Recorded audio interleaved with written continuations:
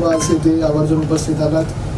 आजची ही पत्रकार परिषद घेण्याचं सर्वात मुख्य कारण हे की आपल्याला सर्वजण ज्ञात आहात की महाराष्ट्रासहित संपूर्ण देशामध्ये बेरोजगारीचं प्रमाण अत्यंत प्रमाण जास्त प्रमाणात वाढत आहे. दिवसेंदिवस हा अत्यंत गांभीर्य विषय असून बरेच तरुण युवा ह्या बेरोजगारीमुळे नोकरी मिळत नसल्यामुळे चुकीचे पावलं उचलत आहेत डिप्रेशनमध्ये जात आहेत नैराश्यामध्ये जात आहेत कुणी त्यामुळे टोकाचं असं आत्महत्येसारखे पावले उचलत आहेत आणि बरेच युवा पिढी हे रोजगार न मिळत असल्यामुळे त्या ठिकाणी चुकीच्या मार्गांवरती जाऊन गुन्हेगारी क्षेत्र असेल तिथे वळत आहेत व्यसनाधीन होत आहेत म्हणून हर्ष फाउंडेशन जवळपास गेल्या चौदा वर्षांपासून दोन हजार चौदापासून जवळपास दहा वर्षांपासून महाराष्ट्रामधील एकोणीस जिल्ह्यांमध्ये कार्यरत आहे. ज्या त्यावेळी जो तो मुद्दा असतो तो हर्ष फाउंडेशनने त्या ठिकाणी उचलून धरलेला आहे.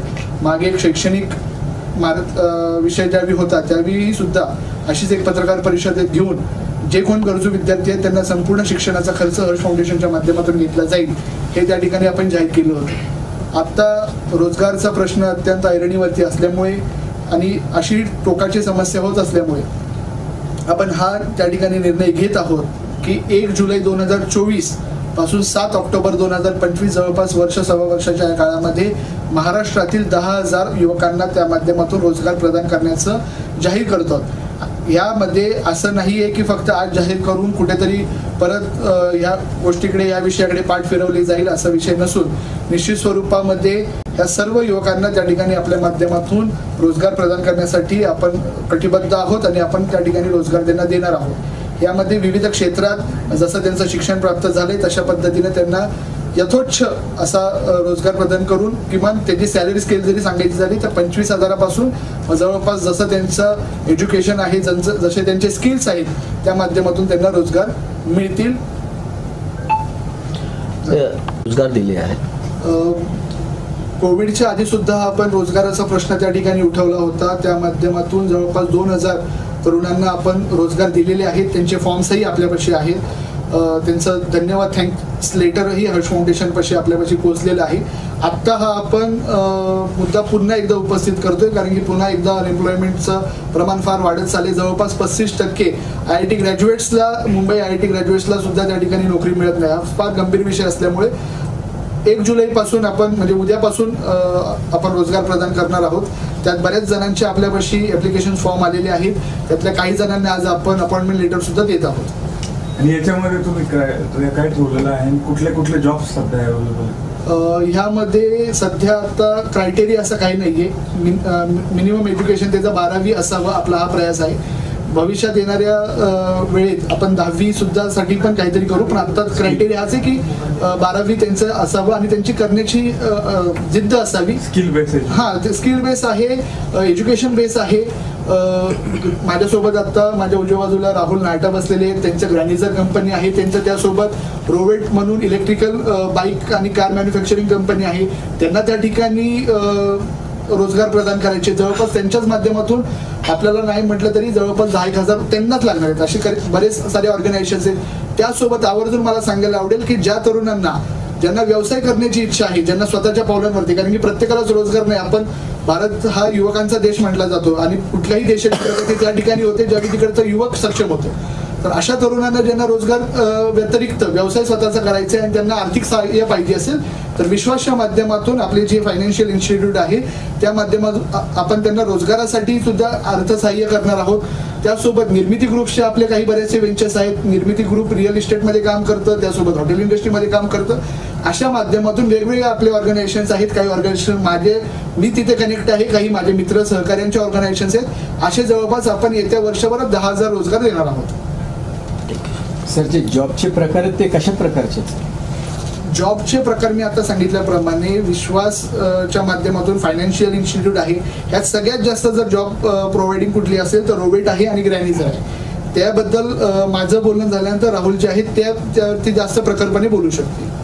ठीक आहे. सर मराठी माणसं कुठंतरी साठी रोजगार बघतात म्हणजे नोकरी करतात. तर त्यांना आपण असं पुढे हे करू शकत नाही का? की तुम्ही स्वतःच उद्योजक बना वगैरे? नाही म्हणूनच मी त्या ठिकाणी म्हटलं की ज्यांना उद्योजक बनायचे आहे त्याच्यासाठीही आपल्या पैसे आहेत. आपण एकत्रितपणे ग्रॅनीचं रोवेट निर्मिती ग्रुप आम्ही एकत्रपणे असेही काम करत आहोत की ज्यांना रोजगार करायचे ज्यांना व्यवसाय करायचे त्यासाठीही आमचे काही मॉड्यूल्स आहेत. आपण सर्वात शेवटी मी संपर्क क्रमांक देईन जो आपला हर्ष फाउंडेशनचा सेवा क्रमांक आहे त्यावरती संपर्क साधल्यानंतर मग ज्याला जसं हवंय कारण की एक म्हटलं जातं की ज्याला केस नाही त्याला कंगवा विकण्यात अर्थ नाही. त्यामुळे ज्याला जशी गरज आहे त्याला ते देण्यात त्या ठिकाणी म्हणजे ज्याला नोकरी करायची आहे त्याला नोकरी जो व्यवसाय करू इच्छितोय त्याला व्यवसायासाठी आपण सहकार्य. महिलांचा सहभाग आहे का? मुलींचा? निश्चित स्वरूपामध्ये महिलांसाठी आणि त्यासोबतच राहुलजींचा हा प्रयास आहे. त्यांचं आता त्या मॉड्यूलवरती काम चाललंय ते माझ्यानंतर तेही सांगतील. की महिलांसाठी सुद्धा आपण काम करत आहोत त्यासोबत तृतीयपंथांसाठी पण आपण काम करत आहोत. महिलांना सुद्धा व्यवसायामध्ये जर येऊ इच्छित असतील तर त्यांच्यासाठी सुद्धा विश्वासच्या माध्यमातून आपण आर्थिक सहकार्य करणार आहोत. म्हणजे इतर मार्गाला क्रिमिनलमध्ये तुम्ही म्हटलं तसे लोक काही असे चांगले म्हणजे आले जॉबला आले असं काही नाही मला समजलं नाही. म्हणजे तुम्ही म्हटलं ना काही काही लोक वळतात दुसरीकडे म्हणजे असे काही लोक हा हा निश्चित स्वरूपात. बघा प्रत्ये- आपला हाच प्रयास प्रयास असणार आहे की आपल्या माध्यमातून एखाद्या घरात चूल पेटावी आणि एखादा जर समजा तो चुकीच्या मार्गावरती वळत असेल आणि तो यातून प्रेरणा घेऊन जर समजा आपल्या मार्गावरती आला एक जण जरी आला तरी आजचा कार्यक्रम आणि हे आपण घेतलेला जो व्रत आहे तो यशस्वी झाला असं म्हणायला मला नाही. भरपूर झालेले आहेत भरपूर तरुण आहेत जे चुकीच्या मार्गांवरती होते व्यसनाधीन झालेले होते कारण की डिप्रेशन आहे असं आज आहे की आत्ताच्या या सोशल मीडियाच्या ह्याच्यात आपल्याला आपलं दुःख पण व्यक्त होता येत नाही माणूस स्वतःमध्ये खूप इतकं गुरफटून जातोय की कोणी मग ते व्यसनाधीन होत आहेत किंवा चुकीच्या मार्गावरती ते थोडंफारचं जे शो शायनिंग आहे त्याला प्रलोभित होऊन अशा तरुणांना सुद्धा आपण काउन्सिलिंगचं त्या ठिकाणी हर्ष फाउंडेशनच्या माध्यमातून काम करतो की ज्यांना त्या ठिकाणी त्यातून बाहेर काढून एक सक्षम त्यांच्या भविष्यामध्ये आपण प्रयत्न करत आहोत. तुमच्या सगळ्यांचे आशीर्वाद मिळाले तर ते यशस्वी होईल. आपल्या फाउंडेशनच्या माध्यमातून आता महाराष्ट्रात किती जिल्हे कव्हर केले? हर्ष फाउंडेशन दोन हजार चौदा पासून कार्यरत आहे. ह्याच्यात सात हजाराहून अधिक स्वयंसेवक आहेत आणि महाराष्ट्रातील एकोणीस जिल्ह्यांमध्ये दोन हजार चौदा पासून आम्ही कार्यरत करतोय. कोविडमध्ये थोडंसं आपलं कार्य थांबलं होतं परंतु आता पुन्हा एकदा आपले सर्व सहकारी ऍक्टिव्ह झालेले आहेत. आणि आपण पुन्हा त्या नव्या जोम्याने आपलं हर्ष फाउंडेशनचं आहे की सर्वत्र हर्ष प्रस्थापित करूयात. याच उद्देशाने आम्ही गेली दहा वर्ष काम करत आहोत. धन्यवाद सर ज्या पद्धतीने सर आपण पाहताय की रोज सोशल मीडियावरती स्कॅम वगैरे नोकऱ्या देतो पैसे वगैरे घेत आहेत ते स्कॅम उघडकीस येत आहेत तर आपल्या हर्ष फाउंडेशनवरती पण तसाच विश्वास लोकांनी ठेवा त्याबाबत आपण काय संदेश द्याल सर? हा आपण पाहतोय की बरेच ऑर्गनायझेशन्स आहेत की जे नोकरी देण्याचं आश्वासन देऊन त्या जे उमेदवार आहेत त्यांच्याकडून फीज घेतली जाते त्यांना आश्वासित केलं जातं. त्यांना मल्टी लेवल मार्केटिंग वगैरे सारख्या ठिकाणी फिरवलं जातं की बाबा तुम्ही हे करा दोघं आणा दोघांना सांगा अजून दोघं आणा असं काही नाहीये. हर्ष फाउंडेशन कुठल्याही व्यक्तीकडून कुठल्याही प्रतिनिधीकडून एक रुपयाही चार्ज करत नाहीये. ही सर्व मोफत त्या ठिकाणी त्यांना त्यांना सांगितलं जाणार की बाबा तुझं एज्युकेशन हे आहे तुझ्यापाशी हे ऑप्शन्स आहेत तुला नोकरी करायची असेल तर तुला हे हे अशा पद्धतीने ऑप्शन मिळतील. तुला व्यवसाय करायचा असेल तर तुझ्यापाशी हे हे आहे. तुला जर समजा स्वतः काही दुसरं करू इच्छिते तर तू सांग तुझी डोक्यात काय आयडिया असेल तर त्यासाठी आपण त्यांना आर्थिक सहकार्य करणार आहोत. पण त्याच्याकडून आपण एक रुपयाचे चार्ज घेणार नाही आहोत. एवढं मी तुम्हाला आश्वासित करतो. सर आपले ब्रांचेस वगैरे लोकांना अगर नोकरीसाठी कुठे यायचं असेल आपल्याकडे तर त्यांनी कुठे यावं? आपल्या ऑफिसेस वगैरे? हा हर्ष फाउंडेशनच्या महाराष्ट्रातल्या एकोणीस जिल्ह्यांमध्ये प्रत्येक जिल्ह्यामध्ये त्या जिल्ह्याची कार्यकारिणी आहे. परंतु संप आता सर्व ठिकाणी ऍड्रेसेस देणं आता शक्य न असल्यामुळे मी हर्ष फाउंडेशनचा संपर्क क्रमांक देतो. त्याच्यावरती मग तुम्ही संपर्क केल्यानंतर तुम्हाला उत्तमभूत माहिती मिळेल. ठीक आहे सर. ग्रॅनिझर प्रायव्हेट लिमिटेडचं फाउंडर अँड चेअरमन. आमची जी कंपनी आहे ही जे विविध पोर्टल्स आहेत जे डिलिव्हरी सर्व्हिसेस देतात जसं झोमॅटो झालं स्विगी झालं पोर्टर झालं ब्लिंकिट किंवा हे जे बाकी ॲप्स आहेत तर त्यांना एंड सर्व्हिस आम्ही देतो. म्हणजे त्यांना ड्रायव्हर अलॉंग विथ व्हेकल आम्ही देतो.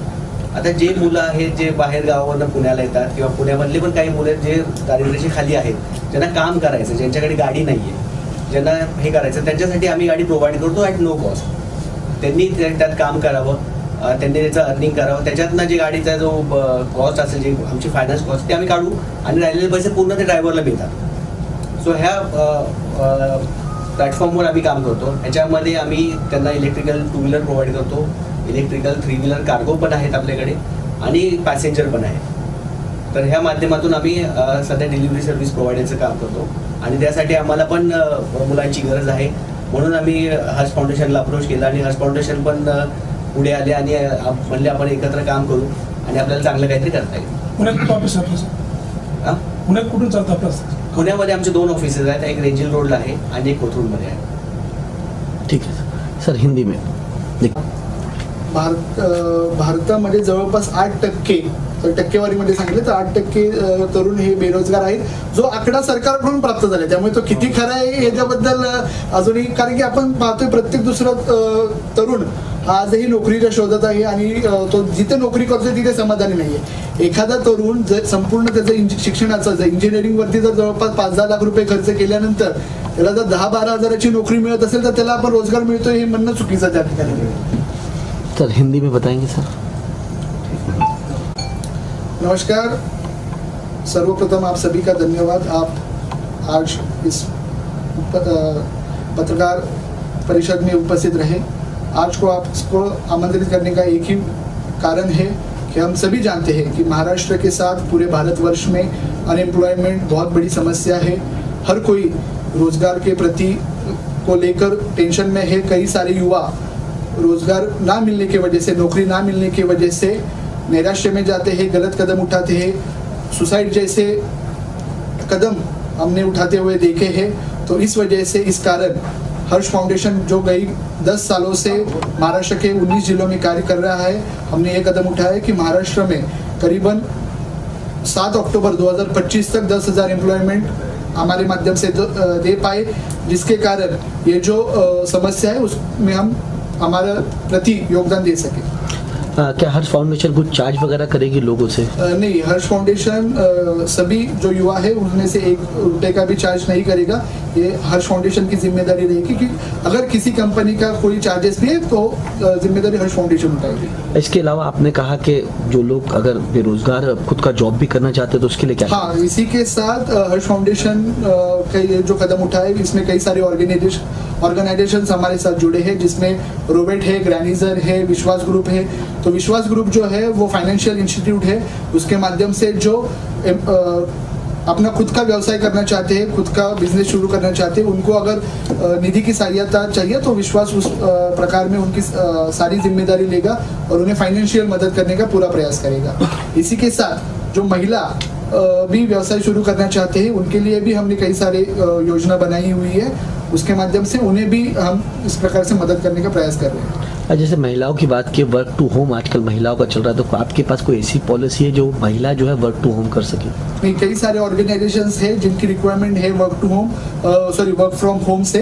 पर अभी जो हम देख रहे हैं जो महिला के लिए कर रहे हैं वो ऐसा है कि उनके व्यवसाय के लिए हम ये कर रहे हैं, प्रोत्साहित कर रहे कि वो खुद का व्यवसाय करें और आगे जाके क्योंकि ये तो शुरुआत है करीबन हमें दो हज़ार पच्चीस तक दस हज़ार एम्प्लॉयमेंट देना है इससे आगे भी जाके देना है। पर अभी के लिए में उनके लिए अगर व्यवसाय वो करना चाहते हैं खुद के अ, उन, उस, उनके कुछ आइडिया है उनके लिए हम मदद कर रहे हैं। अगर हर्ष फाउंडेशन से कांटेक्ट करना हो तो किस तरीके से? हाँ हर ये रह गया था हर्ष फाउंडेशन से अगर संपर्क करना है तो मैं नंबर बता देता हूँ आप नंबर नोट नंबर आप नोट कर लीजिएगा।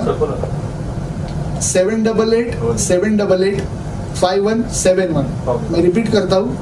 Seven double eight seven double eight five one seven one Harsh foundation का नंबर है. इससे आप संपर्क करने के बाद आपकी जितनी भी क्वेश्चन है उसके आपको संक्षिप्त में आंसर मिलेंगे. अ, सर ये बताइए आपने जैसे बताया कि आपका कांटेक्ट नंबर है और डिजिटल के अंदर भी आपका कोई वेबसाइट वगैरह भी कुछ है? जहाँ जहाँ पर लोग जाके अपना W W W dot Harsh foundation dot com करके वेबसाइट पर है। पर संपर्क का, क्योंकि वेबसाइट से ज़्यादा मेरा यही कहना रहेगा कि आप ये जो संपर्क क्रमांक दिए है उससे अगर आप संपर्क साधेंगे तो वो ज़्यादा बेहतर है। आजकल के युवा इंटरनेशनल लेवल के जॉब्स के लिए ढूंढते हैं बल्कि लोकल लेवल के जॉब्स को छोड़ के। तो क्या आपके साथ इंटरनेशनल कंपनियाँ जुड़ी है? नहीं अभी फ़िलहाल के लिए हमारा यही प्रयास है कि जो मेरे जैसे कई सारे ऑर्गेनाइजेशन है मैं ये सोचता हूँ कि जो भारत में बने हुए ऑर्गेनाइजेशन है उनको किस प्रकार से इंटरनेशनल लेके जाने में हमारा प्रयास रहेगा। इंटरनेशनल ऑर्गेनाइजेशन में भी हमारी बात चल रही है पर अभी उसके बारे में बोलना थोड़ी सी जल्दबाजी रहेगी। थैंक यू सर सर सबका एक परिचय हाँ तो परिचय हा. चालेल आधी संपर्क देऊ इच्छुक महिला आहेत ज्या नोकरी करू इच्छितात जे रोजगारसाठी करू शकतात त्यासोबत व्यवसाय करू इच्छितात. तो हर्ष फाउंडेशनच्या संपर्क क्रमांकावरती त्यांनी संपर्क करावा अशी मी नम्र विनंती करतो.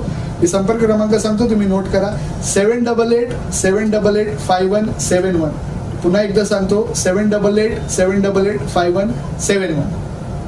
आणि कोण कोण बसलायत कोण कोण आहेत तुम्ही तर आजच्या या पत्रकार परिषदेस जो आपण मुद्दा उचलला आहे ज्यात मला प्रामुख्याने सहकार्य करतायत ते माझे मित्र माझे सहकारी माझ्या उजव्या बाजूला राहुल नाटाजी जे ग्रॅनिझर आणि रोवेट कंपनीचे प्रमुख आहेत मुख्य आहेत. त्यांच्या बाजू उजव्या बाजूला जितेंद्र लोढाजी जे सुद्धा राहुलजींचे सहकारी आहेत त्यांना या संपूर्ण व्यवस्थेमध्ये सहकार्य करत असतात. माझ्या डाव्या बाजूला विश्वास ग्रुपचे जे आपले संचालक आहेत सुभाष शिंदे त्यांच्या डाव्या बाजूला सागरदादा पावगे जे भोर युवा फाउंडेशनच्या माध्यमातून पुण्यातले आणि भोरमधील तरुणांसाठी त्या ठिकाणी काम करतायत.